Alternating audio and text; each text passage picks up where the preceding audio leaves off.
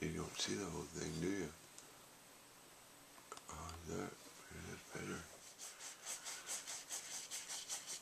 Predominantly red and black. Probably Clark because this one's his.